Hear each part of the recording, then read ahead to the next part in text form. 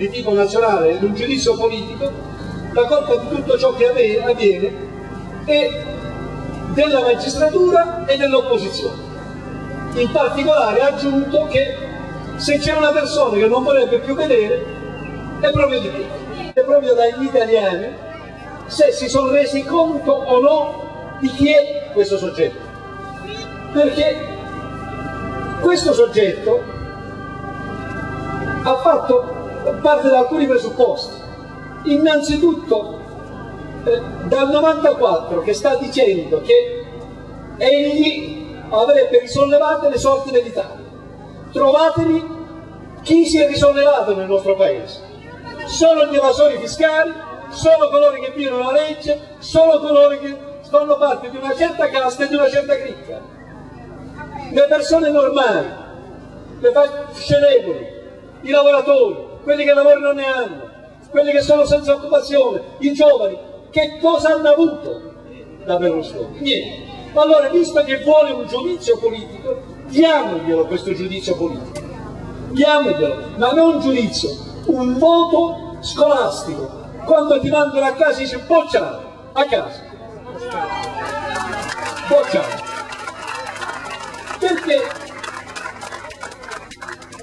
Cosa ha fatto per l'Italia e per il Paese? 37 leggi ha fatto, tutte per l'interesse suo personale, per non farsi processare, per non pagare le tasse, per fare in condizione che gli appalti venissero vinti dai suoi amici, per tutti i provvedimenti che servono a una piccola parte del Paese. Io accuso il governo Berlusconi politicamente per aver ridotto il Paese ad una nuova differenziazione sociale, ad una nuova differenziazione di classe. Pochi che stanno troppo bene e troppo che stanno troppo male. Ecco perché io accuso questo governo di fare il male al Paese, perché a parità di risorse, quelle risorse non andavano utilizzate, non vanno utilizzate in quel modo.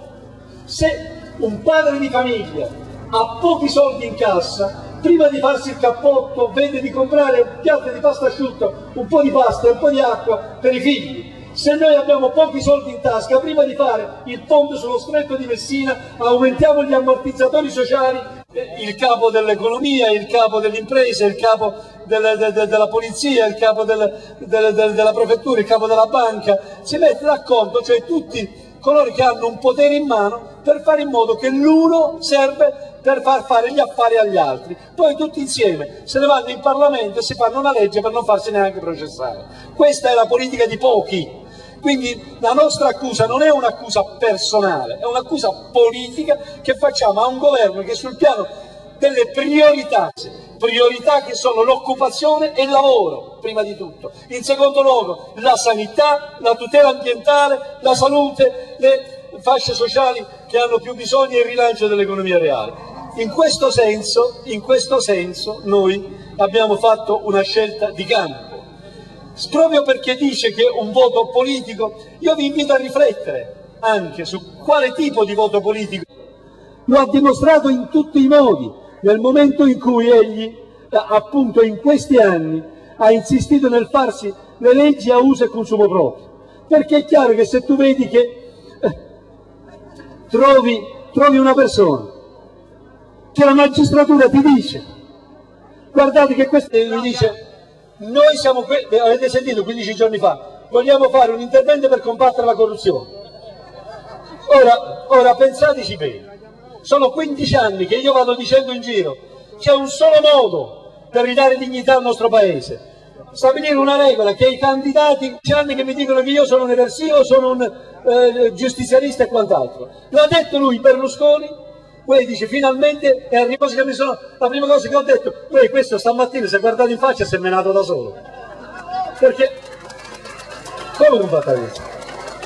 Mi sono anche chiesto però, perché lo conosco, dove sta la fregatura? Perché quando fa un provvedimento deve sempre chiedermi dove sta la fregatura.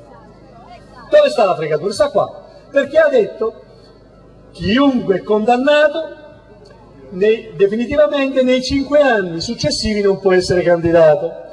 Quando è che si è votato? Ma ci abbiamo scritto il Giocondo qui.